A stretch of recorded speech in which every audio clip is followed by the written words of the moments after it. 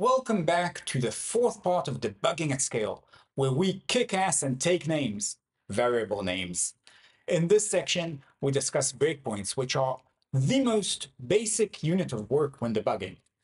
But there's so much more to them than just breaking. We talked about the most basic breakpoints in our first installment. This time we'll dig a bit deeper and into some of the lesser known nuances. We start with conditional breakpoints. Conditional breakpoints let us define a condition for a breakpoint hit. This prevents the thread from stopping constantly on a breakpoint.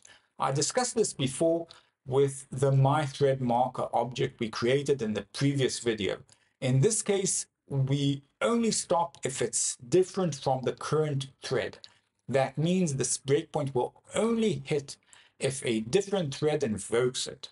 It's a great way to detect thread-related problems like deadlocks or races. This feature is worth repeating since it's such an important feature. Method breakpoints are pretty problematic. As a refresher, we can place a line breakpoint on any line in the method and the breakpoint will stop there. This is so ubiquitous that we just call it a breakpoint we can toggle the standard line breakpoint with Control F8 or alternatively on a Mac with Command F8. Method breakpoints stop when we enter a method. You might think this is useless. Why not use a line breakpoint? You'd be right. Method breakpoints are much slower and you shouldn't use them for this. There, are, there is a use case for method breakpoints though. Notice that because method breakpoints are so slow, they're, they're usually emulated by the IDE. It just uses line breakpoints to simulate method breakpoints. This is mostly seamless to us as users of the IDE, but we need to know about it because uh, in the past, this wasn't the case you can still find messages from users on Stack Overflow complaining about the slowness of method breakpoints. To see the use case for method breakpoints, let's go into the Manage Breakpoints window. Say we want to break on all the methods starting with the letters I and S and classes whose name starts with prime. We can do this by using an expression like this to stop on all such methods based on a pattern. This might seem far-fetched, but is actually very useful. If you have an abstract base class whose subclasses follow a naming convention and they have many related methods, you want to track everything and you can do that using this approach. Notice you can also use trace points here and get very deep logging. We'll discuss trace points in a few minutes. Field watch points aren't your typical breakpoint. A watch point will stop every time the value of the field changes or every time it's read. This is a remarkably cool way to catch a case where some code mutates a variable or find out how a field value propagates into the code. Notice we can tune whether it stops read operations, write operations, or both using this dialog. We can also make the watch point conditional, just like we can with any other breakpoint.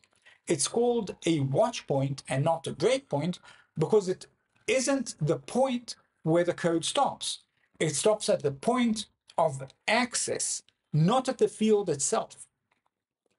IDEs provide a management UI for all the breakpoints. We can manage the breakpoints we already have and create new breakpoints in the View Breakpoints menu. I can open it via the View Breakpoints menu option, or I can use Shift Control F8 key combination. Notice that on a Mac we need to use Command instead of control, the Control key. In this dialog, we can disable, delete, and edit breakpoints you'll notice we have a lot of options here that we'll discuss soon. We can add breakpoints from here, then are, uh, there are several interesting options, but now I'll just add a simple field breakpoint. we can set a breakpoint to stop when an exception is thrown. But it's a bit of a problem. I have two options. First, I can catch a specific exception by name. This is useful if you know in advance the exception that will be thrown. But I can't think of many cases where this happened and I didn't already know the line where the exception is thrown. The more valuable case is catching all exceptions. The reason this is useful is that I sometimes might not look at the console while debugging. Exceptions might be logged there and I might miss them entirely. I might restart the debug session and might uh, miss these exceptions. But if a breakpoint suddenly stops at, on an exception, that's hard to miss. The problem is that catching all exceptions is broken by default. Unfortunately, this is hard to show in a simple prime main application. So I switched the demo to a simple Spring Boot application. The content of the application isn't important for this case. Let's enable catching any exception and see what's happened. What happens? After enabling the catch, I try to continue, but it instantly hits the breakpoint again and again and again. The code polls a web service in the background. That web service is missing an HTTP header to the code that parses that header, uh, fails on num a number format exception. We're stuck on the code that throws that exception, which is valid as Java didn't provide another way to parse numeric headers when that code was written. So what can we do? This effectively makes stopping on any exception useless for almost any real-world application. Let's move the window a bit and then zoom in to see what we're doing here. Now we can define a class filter. Notice I prefix both filters with a minus character to turn this into an exclusion filter. Here I define a filter to all Java packages and all Sun packages. That means that every exception that's handled within these packages won't break. Once I press OK, I can press continue and the application runs without breaking on the problematic exception. Other exceptions will work as usual and let us know when something breaks in our code. It's amazing that this isn't the IDE default. Without it, the feature is practically useless. Trace points or log points are some of the most important types of breakpoints we have. We can add a trace point by shift-clicking on the gutter. This opens up a familiar breakpoint dialog, but it looks a bit different. First, notice this the suspend option is unchecked. Notice that we can convert any breakpoint to a trace point by unchecking the suspend checkbox. By default, a breakpoint breaks. It stops the current thread and suspends it. So we can leisurely inspect the application stack and see what's going on. A trace point doesn't suspend the current thread. The application hits the breakpoint and then keeps on running without stopping. This is pretty groundbreaking. How do you step over? Well, you don't. Instead, we can do several other things. You can log the words breakpoint hit whenever we hit the breakpoint. But this isn't very helpful unless we have only one trace point and only want to know if we reached that point. We can print a stack trace every time we reach the trace point, which is more useful indeed. But not by much. It's hard to read a lot of traces in a list and follow through. What I want to focus on is something else. Notice that evaluate and log already had the CNT value in it because I had the CNT value selected in the IDE before shift clicking in the gutter. We can write any expression we want to print here. I can invoke a method, write a descriptive string, etc. This is literally a standard log statement that I can add dynamically to the code. Notice that I can still make this trace point conditional, just like any conditional breakpoint. That means I can print any value at this point in time, just like any logger.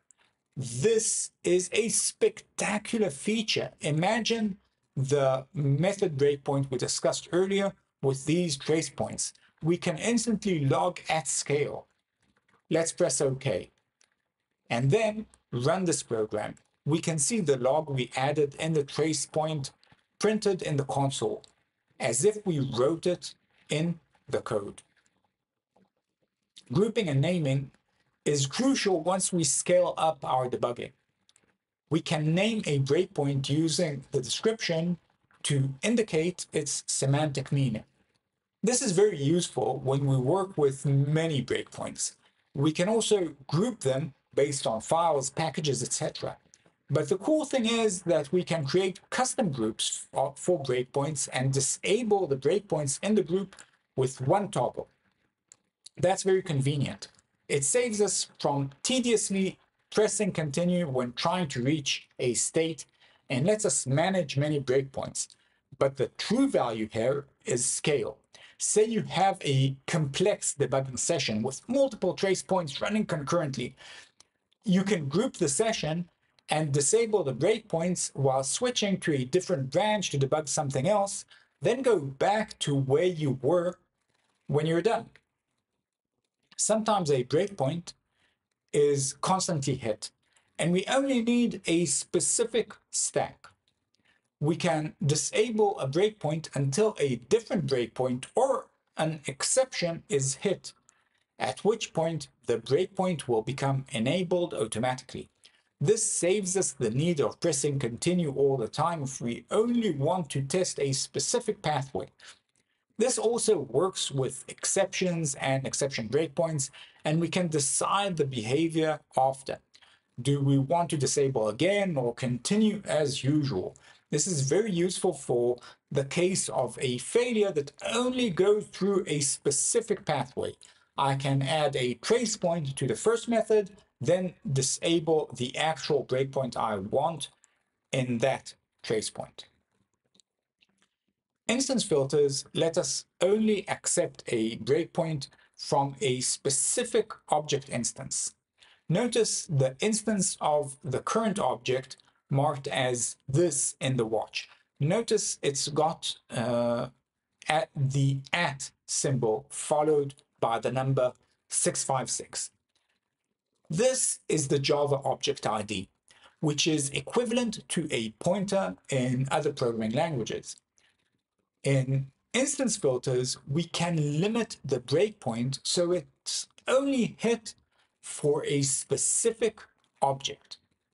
Say this line breakpoint gets hit a lot by multiple instances, but I only care about results from a specific object instance and want to filter out all the noise.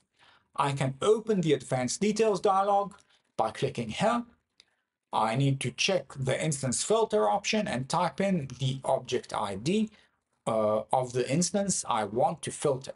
This will mean the breakpoint won't stop for other instance types. Uh, to apply this change, I press done. At this point, we can see the instance filter is still stopping at the breakpoint, which is expected. So the next step is to change the instance filter to a different object instance. I'm making up a number since this is just for test. Notice that when I right-click the breakpoint, I get a customized version of this dialog because we have an instance filter in place. This is a really neat feature of, uh, of that. which makes the UI so much easier to work with. Now that we've made a change to the breakpoint, it no longer breaks. Class filters don't make sense for typical line breakpoints. Class filters make sense when using field watch points or an exception breakpoint. In this case, I have a public field.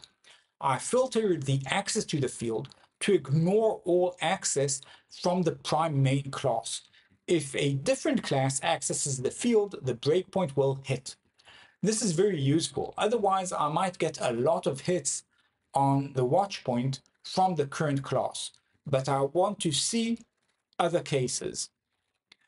Caller filter implements a filter based on the signature of the invoking method. To use it, we again need to go to the advanced menu. It supports wildcards so I can limit the caller to only allow the run method. Notice that it uses JVM notation for method signatures, which is a pretty complex subject I'll discuss later. I have a section covering that in my debugging book. The method keeps stopping at the breakpoint as expected because as we can see here, the run method is indeed in the stack trace. So if so the filter applies properly and hits the breakpoint. We can again customize the breakpoint in the quick edit UI for the filter. In this case, I change the filter to look for a method called stop, which doesn't exist. And indeed, the breakpoint no longer breaks. This has been a long video. I hope you found it educational and comprehensive. In the next video, we'll talk about debugging streams and collections. If you have any questions, please use the comment section. Thank you.